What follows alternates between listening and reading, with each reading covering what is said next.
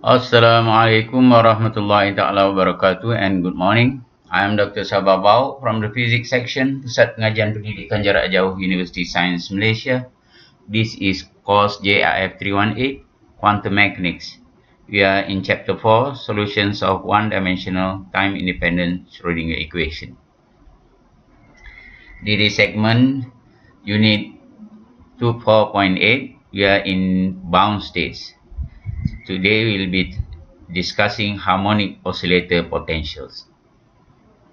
The objective of this segment is basically for you to be able to describe the usage of Schrödinger equation to describe the motion of a particle undergoing small oscillations or vibrations.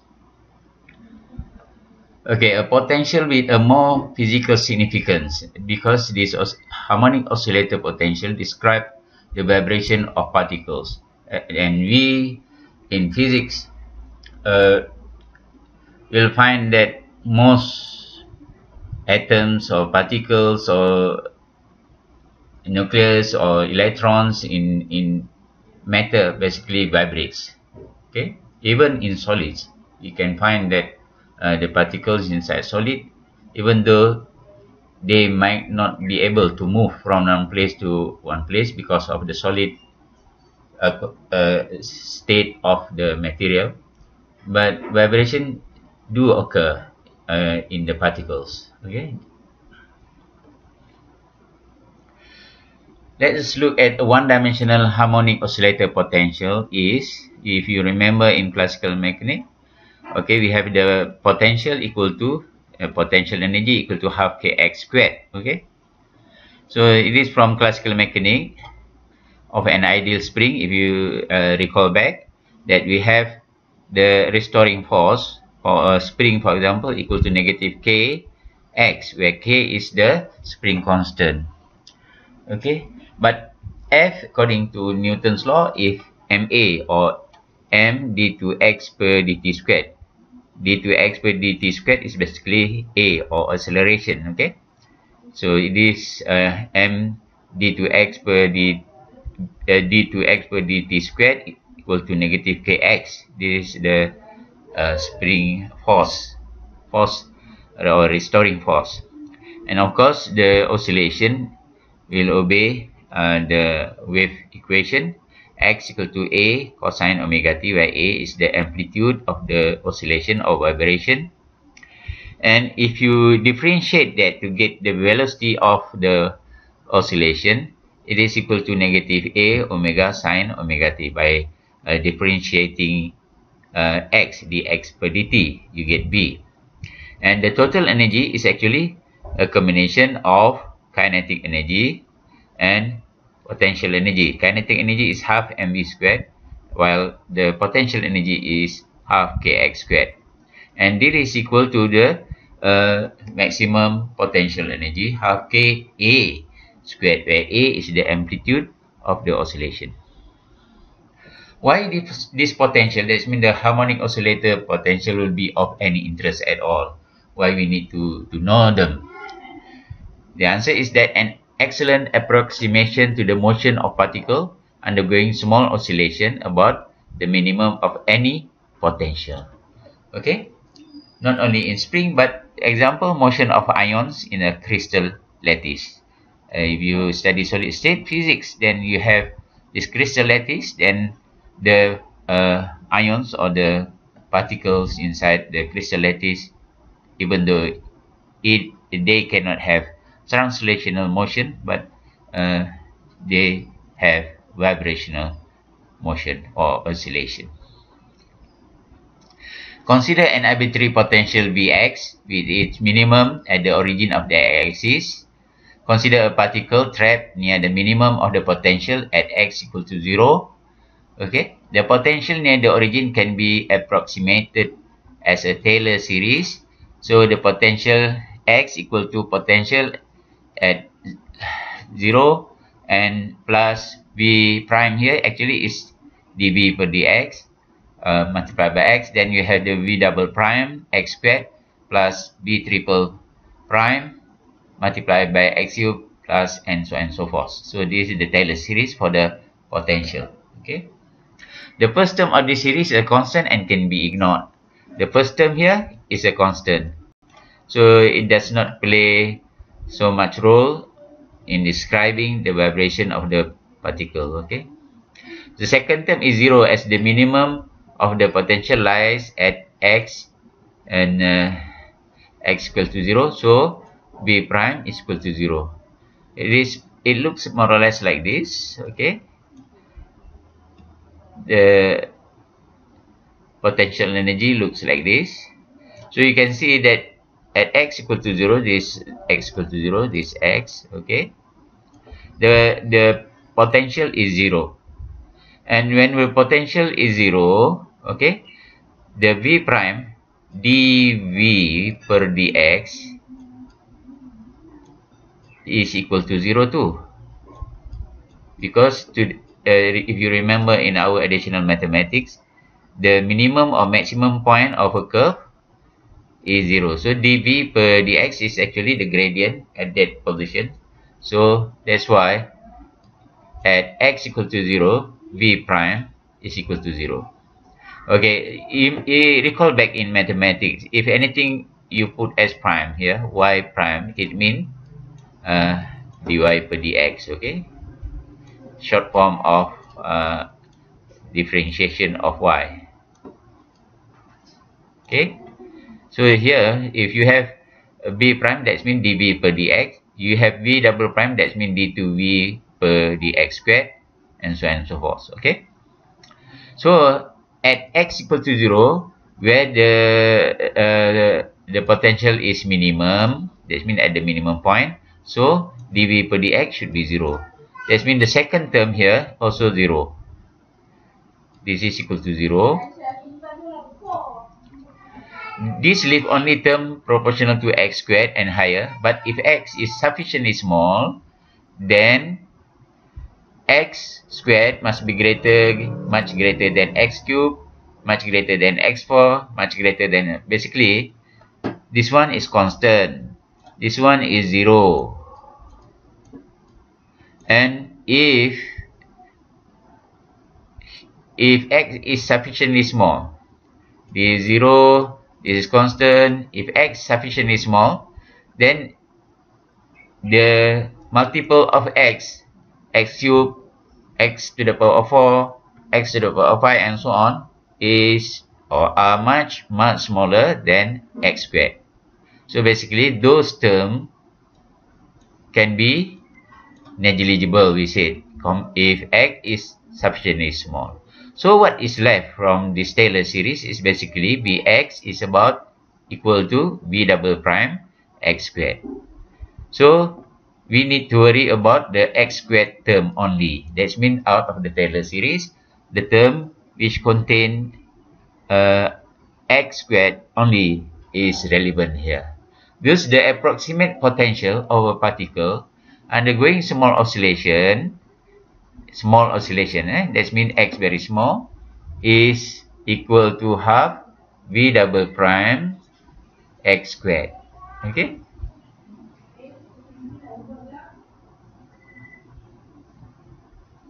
So we have this equation. But from the uh, potential uh, energy equation of a spring for example and the potential is equal to half kx squared. So we can say that k, the spring constant, is equal to v double prime. Uh, this is not uh, this is the classical spring uh, potential energy half kx squared. Okay, so now we have defined or some sort of like uh, the meaning of uh, k. It is actually d2v per dx squared. Okay. Now, in if we use one-dimensional Schrodinger equation, so the potential can be replaced by half kx squared. Uh, this is the time-independent Schrodinger equation. We have b here, but b is can be replaced with half kx squared.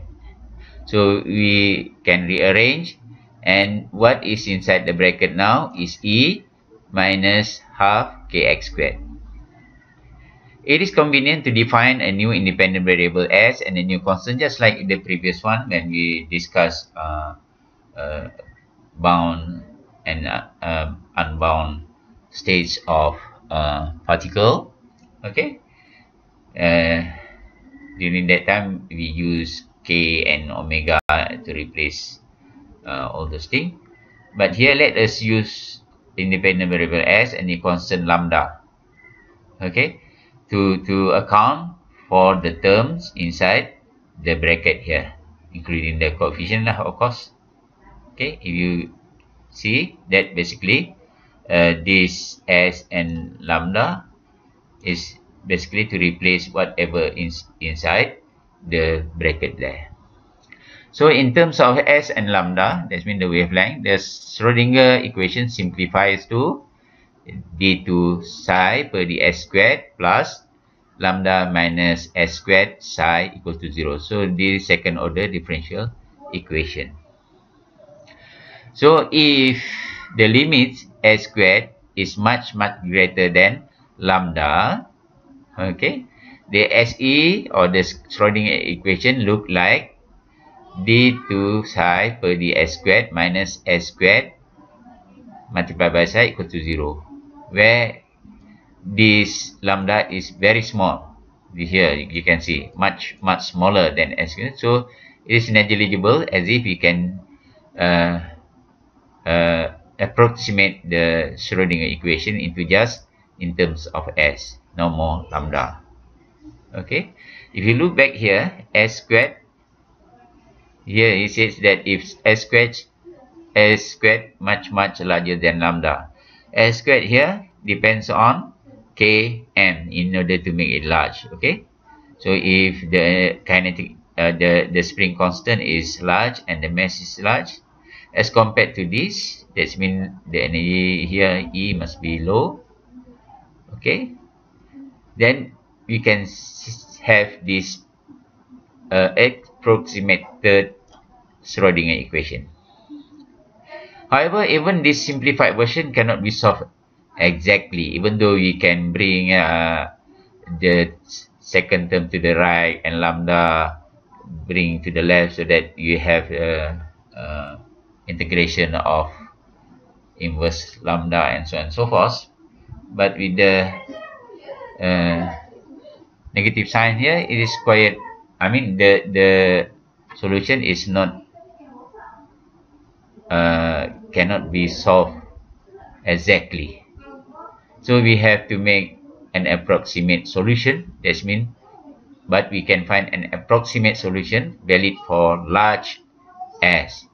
That means uh, we can put psi equal to a exponent s squared per 2 plus b exponent this is the exponential solution general exponential solution where you have the first term positive exponential the second term negative exponential.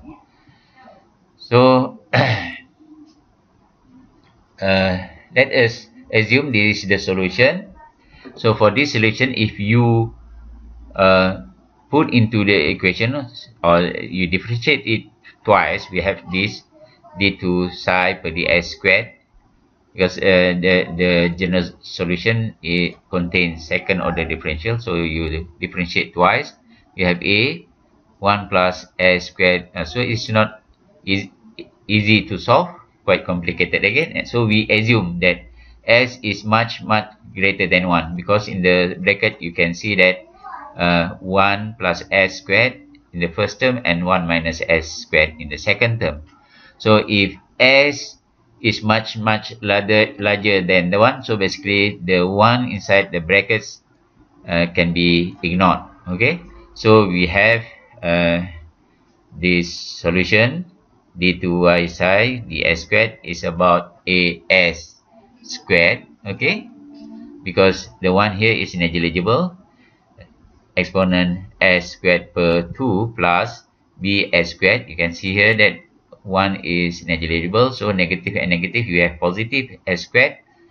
And basically, it is equal to s squared psi. That means the original equation was d. Uh, the original s approximated equation equation is d2 psi per ds squared equal to s squared psi. Okay.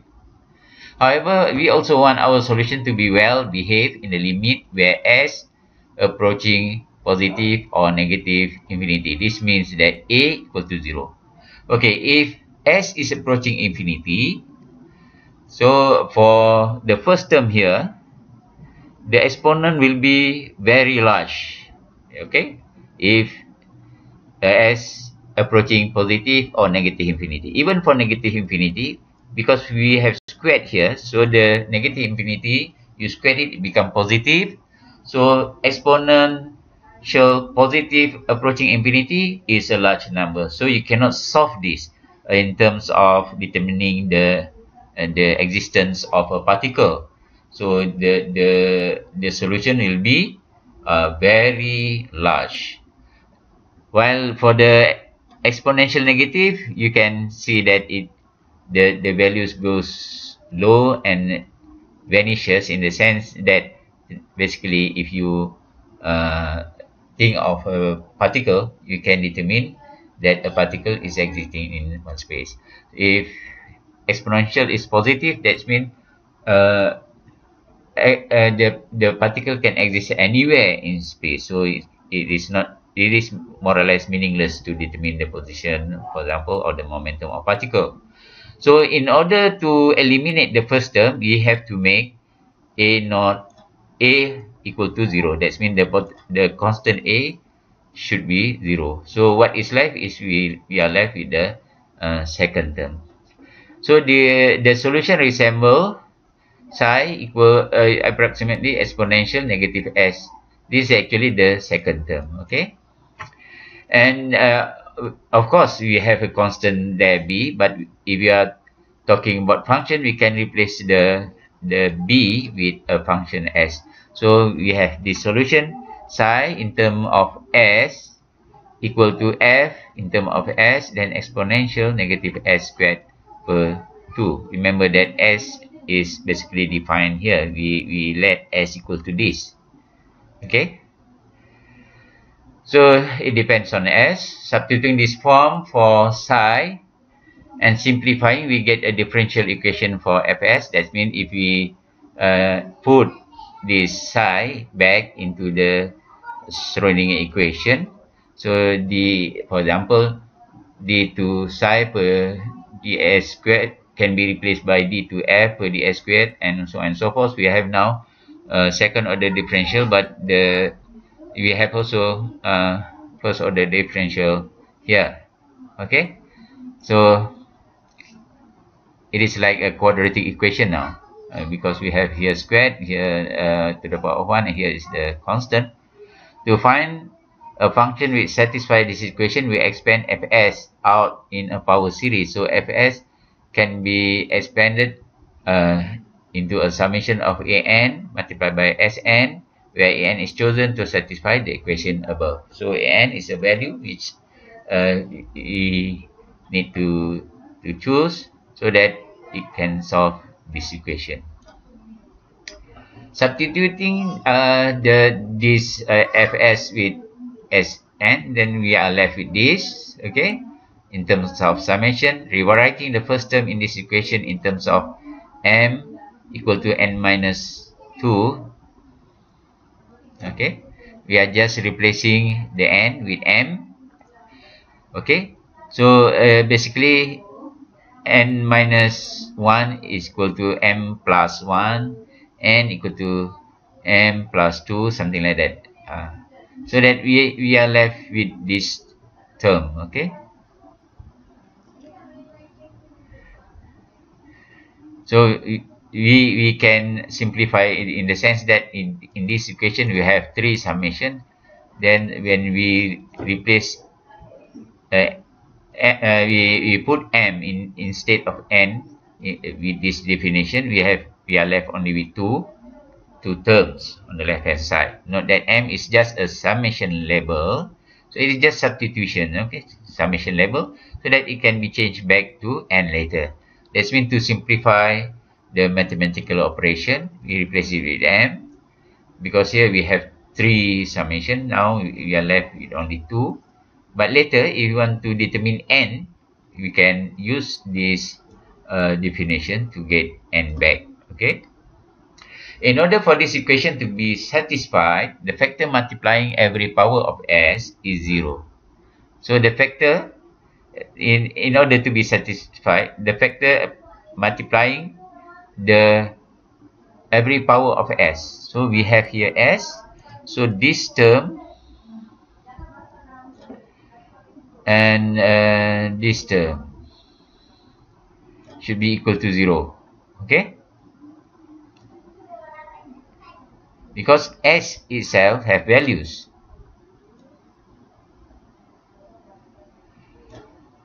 But this two addition of two summation is equal to 0. Therefore, the first term should be 0, the second term should be 0. But s to the power of m in the first term cannot be 0. It has some values. The same thing with s to the power of n in the second term cannot be 0. So what must be 0 is the uh, multiplier or the coefficient should I say m plus 2 m plus 1 multiplied by a m plus 2 and uh, lambda minus 2 and negative 1 and so and so forth. So the the multiplier or the coefficient of s should be 0 so that when this is 0 0 multiplied by sm is 0 0 multiplied by sn is also 0 0 plus 0 is equal to 0. So in order to to satisfy that equation, the factor multiplying every power of s, that means s to the power of m and s to the power of n should be 0. So this is this uh, should be 0. n plus 2 multiplied by n plus 1 multiplied by a uh, subscript n plus 1 plus lambda minus 2n minus 1 multiplied by a subscript n must be 0. So if you rearrange, you get this solution. You get the solution of a n plus n2 in terms of a n. Well, the, the multiplier here contains n and lambda. Okay.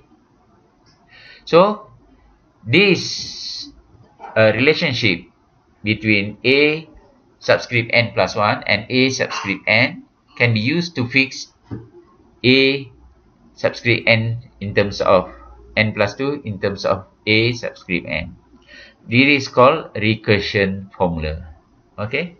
So, recursion formula that means it, the, the formula can be repeated in terms of when you put in the values, you can repeatedly uh, uh, uh, use this formula to, to increasing values or decreasing values. So it can be iterated to calculate all of the other terms in the power series. It is just like a computer program.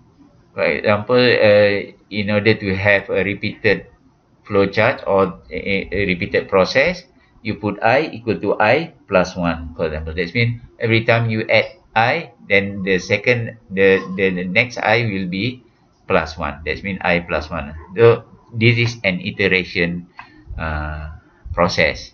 The same thing here, you can basically iterate it to calculate, you, use, you can use computer to calculate the next value of A.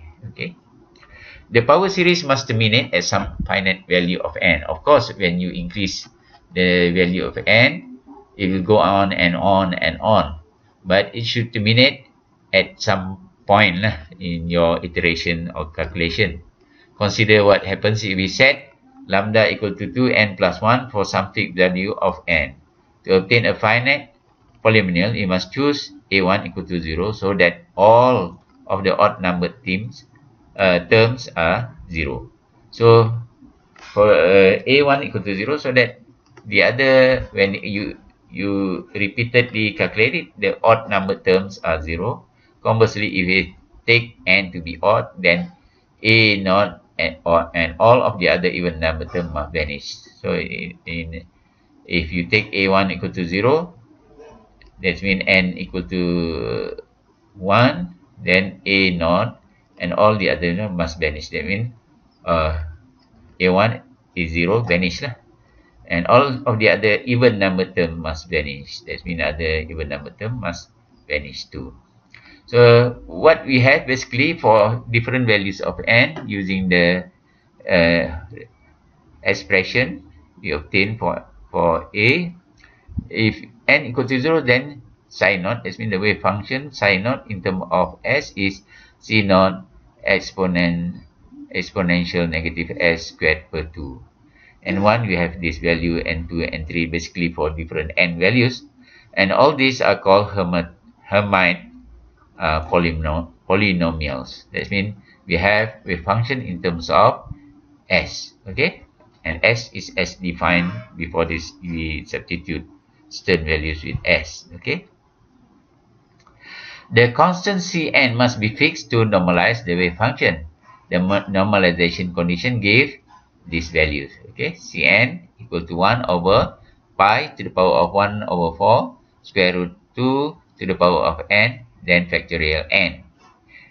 And as expected, the wave functions are alternately even and odd since the potential is symmetric about x equal to 0. So the wave function alternately even and odd here when we put in Cn with that. Okay. So the the to visualize the uh, wave function, okay, which we have this Hermite Hermite polynomials. The harmonic oscillator wave function for the lowest four energy state n equal to 0, 1, 2, 3 and this is the definition for S okay? The Hermite polynomial is in term of S. So when you plot it in a graph of uh, wave function against s uh, we have this this is for n equal to 0 then we have the way the shape of the curve look like this for n equal to 1 uh, n equal to 2 we have this and n equals to 3 we have this okay uh, in terms of qualitative uh, analysis, for example, n equal to 0 means that the curve does not cut the, the s-axis at all. If n equal to 1, it cuts only 1. and n equal to 2, the curve cuts s-axis twice. Then if n equal to 3, it cuts the s-axis thrice or three times. Okay, this is a qualitative uh, analysis by looking at the plot of the wave function with respect to S. Now, let us look at the energies. The energies corresponding to this wave function. So, we have this lambda. This is the uh, substitution we put in earlier. Lambda equal to 2 per h bar square root m per k multiplied by e. This is equal to 2n plus 1. So, you rearrange so that E on the left hand side. So we have En equal to n plus half h bar square root k per m. Okay. Now you can see that n are integer. n is integer is an integer. 1, 2, 3 or 0, 1, 2, 3 and so on and so forth. That means the, the energy is discrete. So we put a subscript n after the symbol for energy E. And on the right hand side, basically, H bar square root K per M is actually H bar omega. We are familiar with this. So, E uh, for, for harmonic oscillator, E equal to N plus half multiplied by H bar omega. Okay. Uh,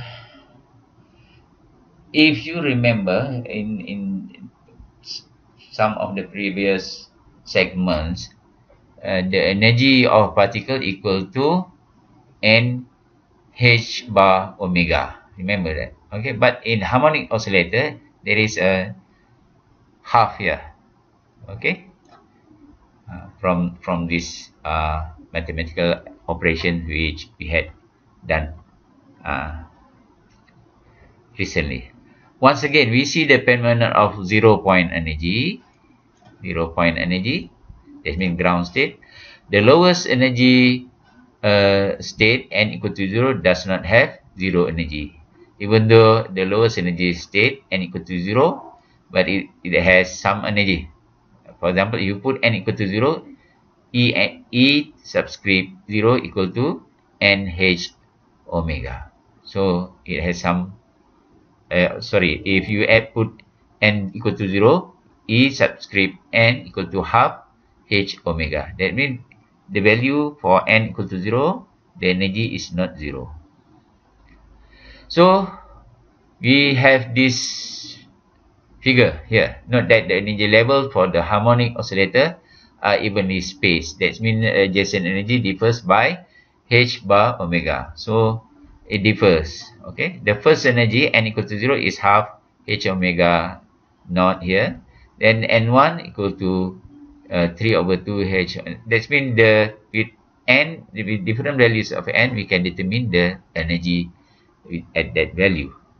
This u equal to half kx squared is actually the the potential energy. That's been the curve here. So the levels have equal spacing. Here have equal spacing eh, between the level. The difference is 1 h omega. But here it is only half omega, the first energy level. The distance between the classical turning points increases with energy. That means uh, the the classical turning points. Uh, that means here get increases with energy. That means as you go up here, the energy increases. The quantum probabilities. Now we are talking about quantum probabilities. That means psi conjugate multiplied by psi for this wave function is non-zero. It's not zero.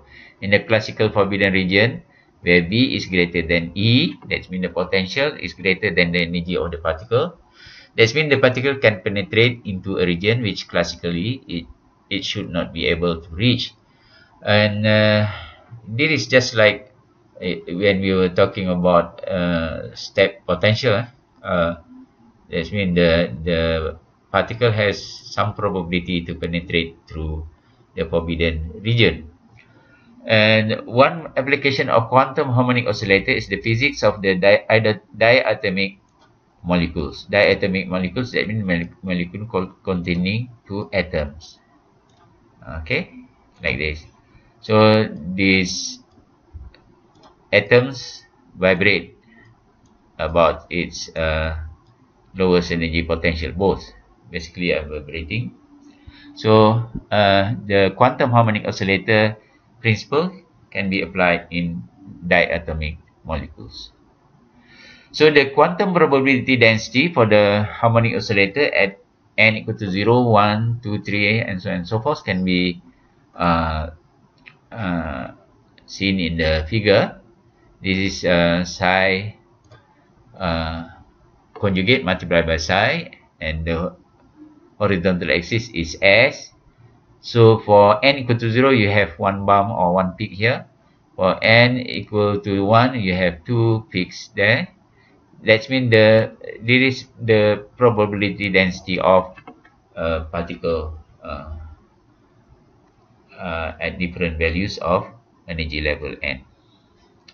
So if you have, for example, n equal to 50, so the the probability density look like this. The solid curve, that means the black line here, the black curve, uh, is the classical probability P. And the dash curve quantum probability density for n equal to 50. That means in this limit, the QM or quantum mechanics probability approaches the classical result. That means when n is a large number, then it approaches the classical result. The classical result means that uh, the the the that the data which can be observed from an experiment. That means that here you can see that more or less the the solid line, the classical curve, is along the center, or should I say the mean of the uh, curve, the quantum uh, mechanical probability density curves. You can see the curve here, the dash line go up and down, go up and down, but the mean is actually uh, coincide with the uh, classical probability. As a conclusion, the wave functions obtained for the different values of n are called Hermite polynomials. The energy levels of a harmonic oscillator are evenly spaced. Adjacent energy levels differ by h bar omega. Thank you very much for your attention.